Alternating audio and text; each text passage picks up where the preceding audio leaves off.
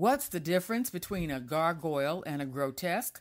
The answer coming up next on the best art show in the DMV, Artico, Art in Your Community.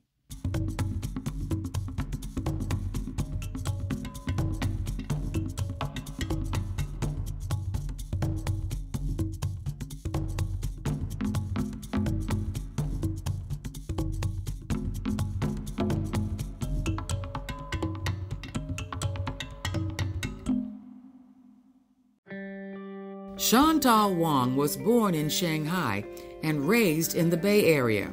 Though her degrees were in engineering, she decided that what needed some real fixing was Washington, D.C., and she's been here for close to 30 years.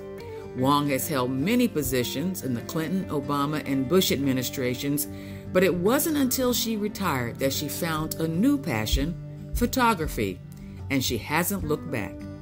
It became an obsession uh, and then somehow became a profession. I actually get paid for doing some of the work, uh, and I was very lucky to join uh, John Lewis um, for four years to be his uh, photographer and videographer, thanks to an organization called the Faith and Politics Institute, where they bring members of Congress to civil rights sites in Alabama. So it's been an incredible experience for me uh, just because I picked up a camera.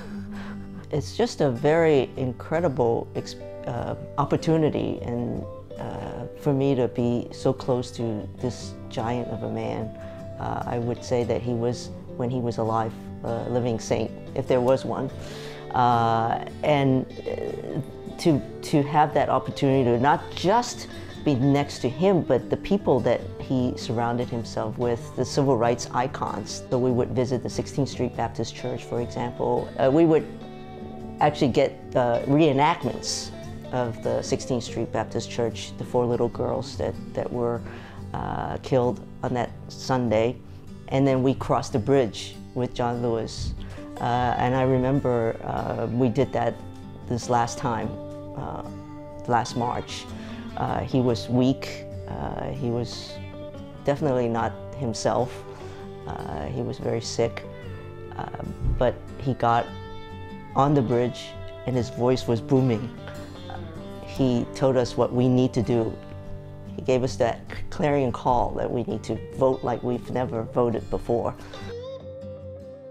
It's very emotional for me uh, to have been there, to be part of history, and I remember that, uh, you know, months later, what he said about voting.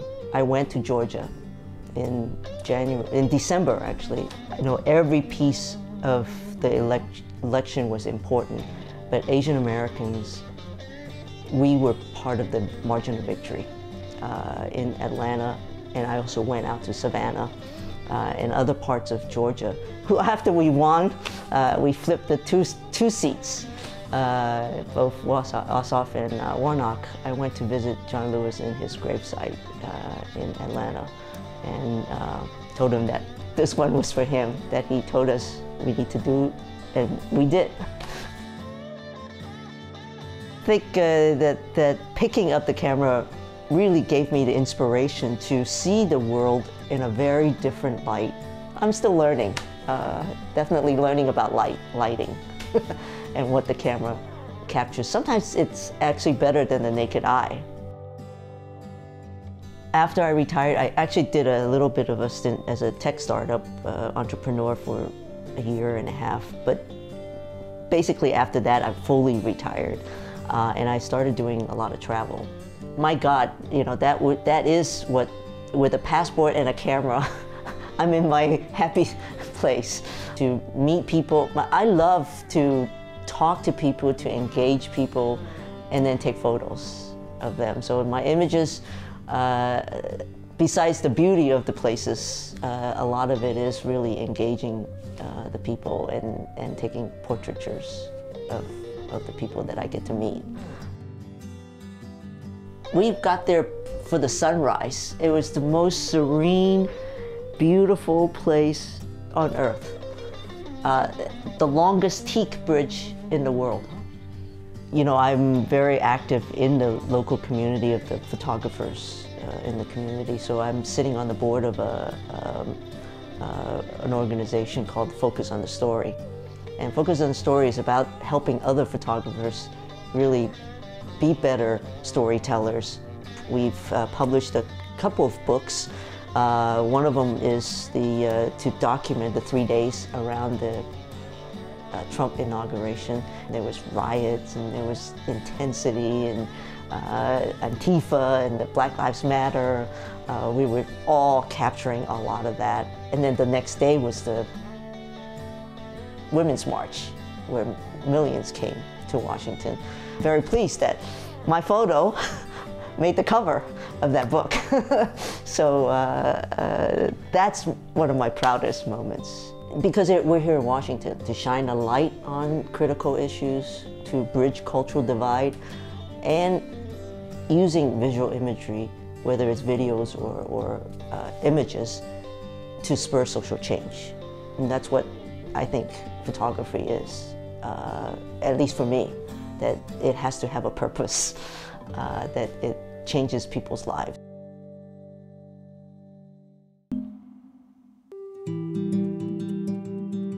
Sonya Clark is a world renowned mixed media artist, a professor at Amherst College the Washington native addresses race, systemic bias, heritage, and visibility in her new exhibition. The provocative Tatter, Bristle, and Mend is now on display at the National Museum for Women in the Arts. Included are numerous works made from human hair, black thread resembling human hair, and images that reference head adornment, like Afro Abe, for example.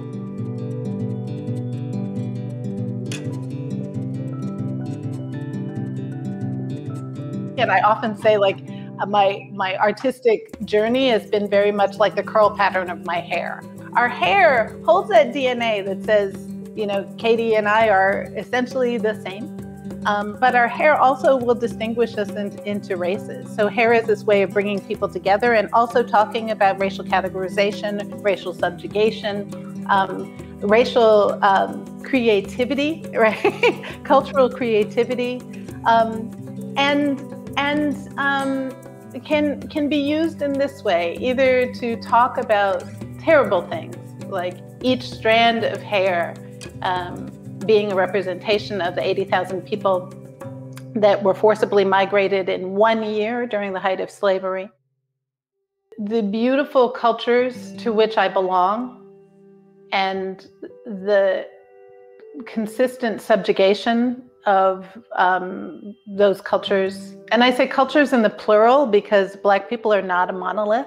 Mm-hmm. Um, and, um, and um, the constant subjugation of those cultures, like white supremacy, is deeply um, embedded into this nation. And if the anthropologists have this right, then we are all children of Africa. Mm-hmm. So, um, so this idea that when you're looking at this this texture of hair, it is standing in for African people of African descent. Clark loves to amplify the work of hairstylists, seeing them as artists in their own right. Many of her images pay homage to their creations.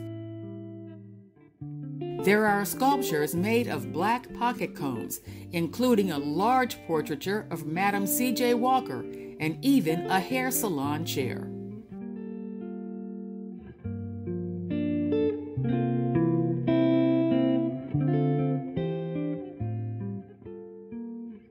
Sonya's parents were both born in the Caribbean, their ancestors forced to that region by one of the engines of the transatlantic slave trade, sugar. Some of her images reference this history. When I go to the Caribbean, the smell, there's a smell in the air, and that one of those smells can be the, the smell of burning cane. I wanted to take really common objects, you know, and seduce a little bit because uh, sugar is sugar is seductive. You know, um, sugar can get sugar gives you a sugar high. It was sort of the drug of the time. Um, you know how uh, not so much now, but there was a time that disturbingly people would refer to heroin chic. Mm-hmm. Well, there was also sugar chic, mm-hmm. and that was that gentry who had the money to um, eat lots of sugar would show off their rotten teeth. So we think about these pieces, the, the gold rings um, that are holding these sugar crystals and the silver rings that are holding both cotton and hair and sugar, um, cast sugar. Whose body would be wearing these rings? And even those ephemeral things, like the hair could come out and the sugar could dissolve and the cotton could come out, but still the structure that is holding those rings, that is turning people into commodity and commod and people who into workers, worker bees for this, you know, whatever the drug is of the time, that the structures are still in place, even though those materials might seem somewhat ephemeral. And there's more to explore in Sonya's work, including her amazing beadwork and hand symbology. You can catch her show at the National Museum of Women in the Arts until June 27th. The Gargoyle and Grotesque Tour at the National Cathedral is a fun way to explore and experience this beautiful building in all its whimsy. And with volunteer docents like Andrew Martin as your guide, you'll get all the fabulous stories behind these quirky and marvelous carvings. You hear lots of stories about why we have these ugly, horrible carvings on the outside of our beautiful churches. The first story that most kids hear is that it's to scare the evil spirits away. But the real reason that we have these on our buildings is far more prosaic than that. It's to get the rain off. A gargoyle is a carved downspout. The word gargoyle comes from the same root word as gargle, or in Spanish, garganta. It means throat. So if it doesn't have a throat, if it doesn't have a pipe, it's not a gargoyle, it's a grotesque. Dean Sayre, one of the builders of the cathedral, knew something else about gargoyles. In addition to scaring evil spirits away, serving as downspouts, there's something else about gargoyles, and it's the reason you're watching today. Gargoyles are awesome. People love gargoyles. So Dean Sayre added gargoyles as a fundraising technique. Many of the, if not all of the gargoyles are sponsored by someone, and they got to pick the design. They've depicted family pets, relatives, or just designs that they've picked. So many of the gargoyles around here have stories that come from the people who donated money to help build the cathedral. We do have some pop culture ones. Uh, some of the gargoyles were the res result of a Design a Gargoyle contest. Right above our heads is Darth Vader. So if you follow this buttress up, There were over 1,900 entries from around the world, and they picked the four best and actually carved those grotesques and added them to the towers of the cathedral. So the farther of these two gargoyles is described as a toothy duck. That's the one that has the bird on it right there. And you can see he's holding playing cards. You can see the suits of the playing cards underneath his wing there. So it's a rather fantastical design. But if you look closely, in the duck's mouth, where the bird just fluttered, you can see a tiny little cameraman peering out. The official name for this gargoyle is Candid Camera, and it represents and honors everyone who comes here to the cathedral to take pictures, all of the tourists and visitors. So if you are inspired by this show to come to the cathedral and visit for yourself, this will be your gargoyle. These are actually false gargoyles. They don't have pipes, but the, these are a pair that honor the two children of the donors who gave the money.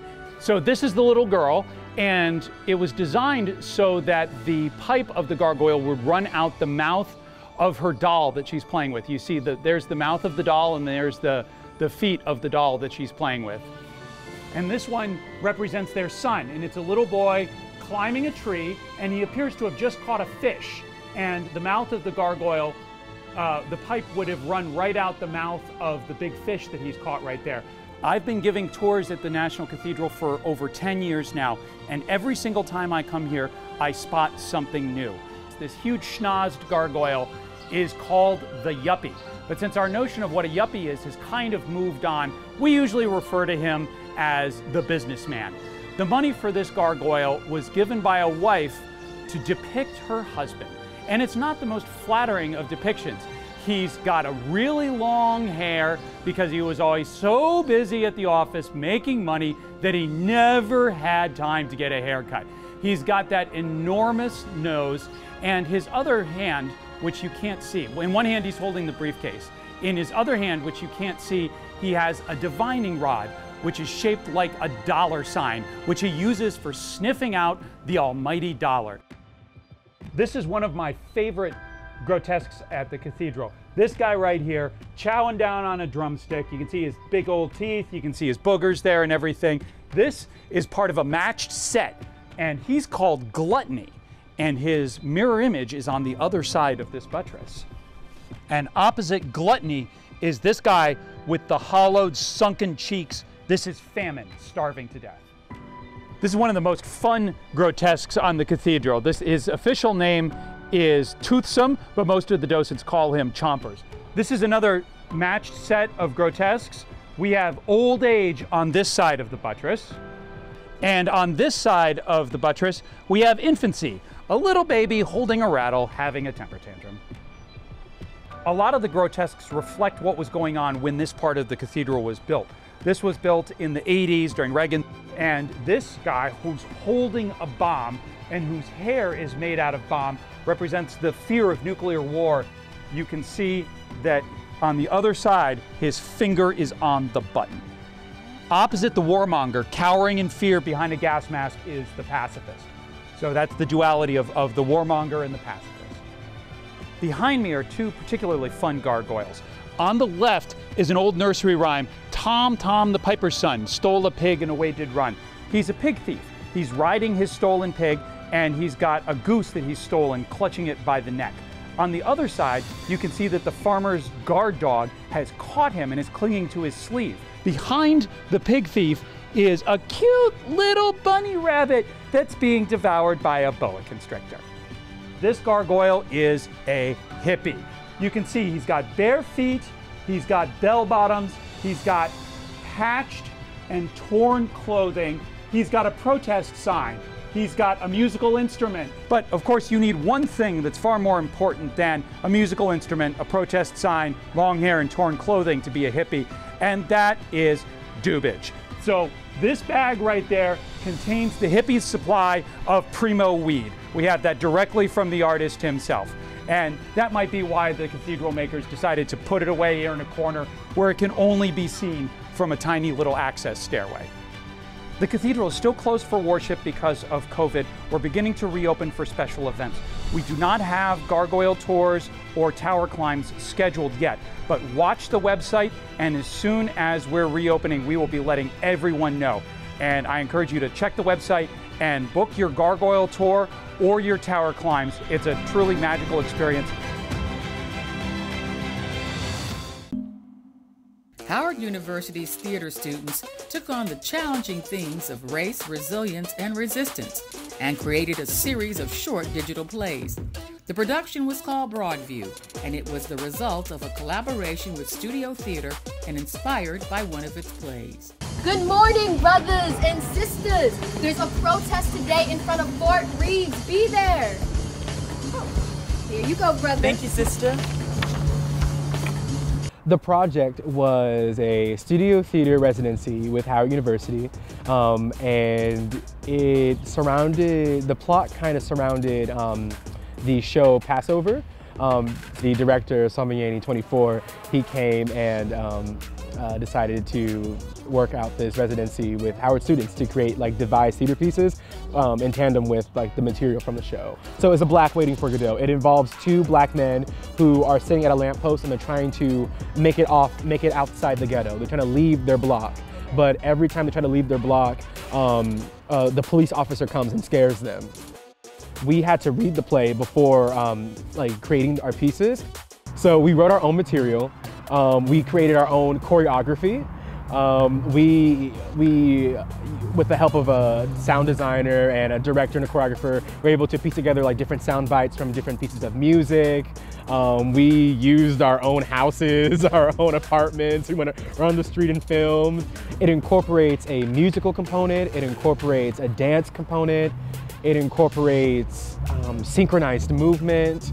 It incorporates uh, tableaus and statues and images, and we devised a short digital um, story um, that kind of used like devised theater elements, except it was completely digital. So it was a, um, a unique experience. I would describe the Broadview project as a series of vignettes depicting black life. Like a preacher, teacher, protester captures a day in the life of a black person and how they come across um, police brutality.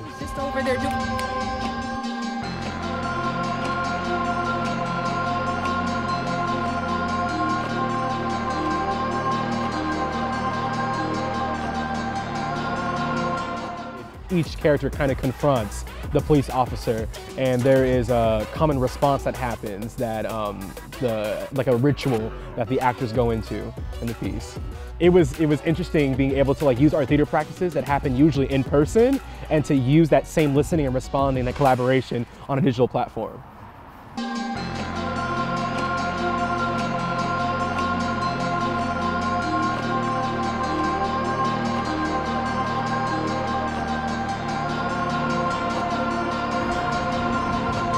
God, help us all.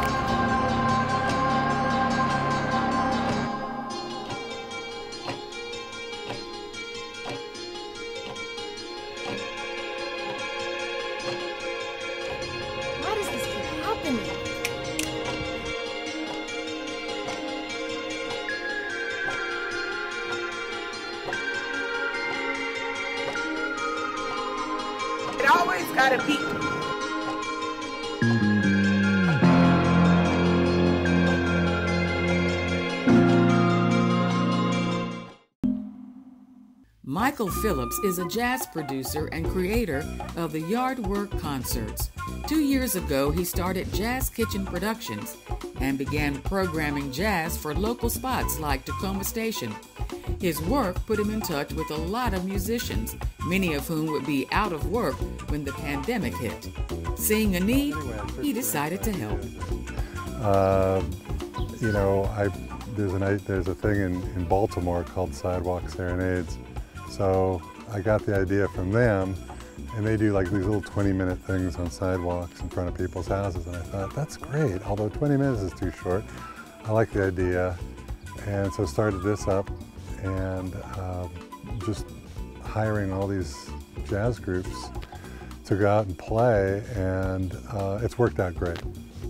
Um, we got involved with the Yardwork concerts um, from the listserv, the local listserv. We saw a um, um, an email from Michael Phillips, and um, and we had been missing um, missing live music because we like to go to concerts. We we love jazz. We love music in general. So. Um, when I saw it, I jumped at it because it sounded so easy, and it was right, you know, at the beginning of the pandemic, and we were, we were all missing music.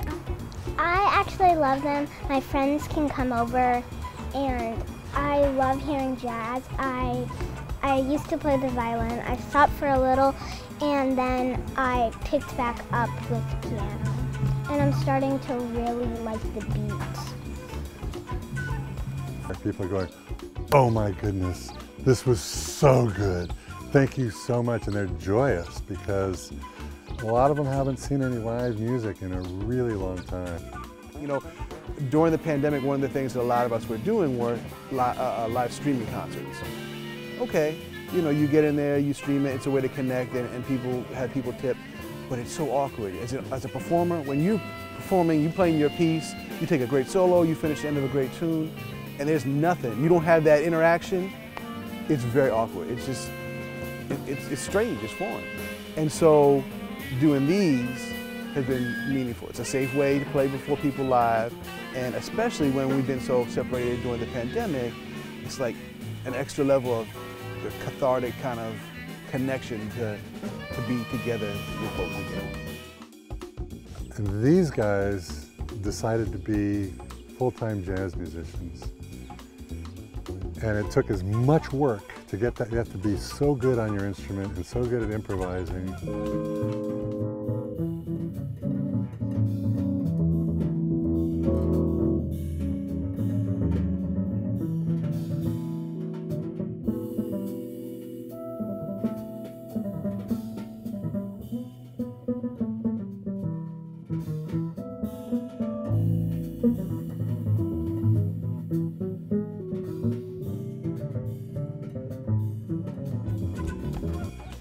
Takes years and years, just like it takes years to become a lawyer or a doctor.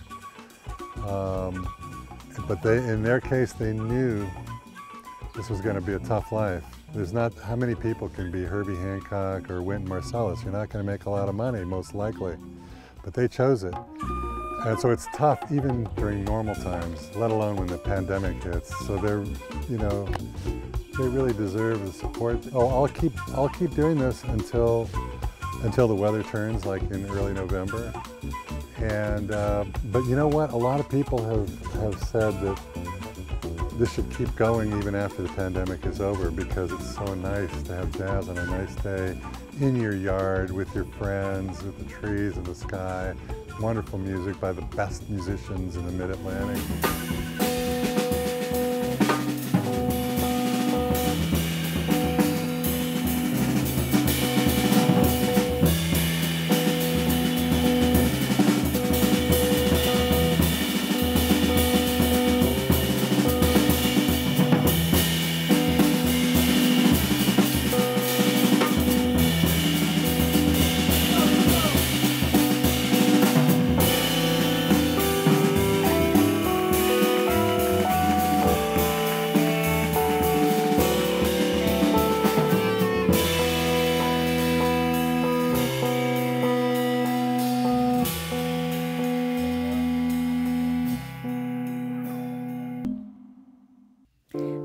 End of our show. Thanks for watching, and until next time, always remember to follow your art.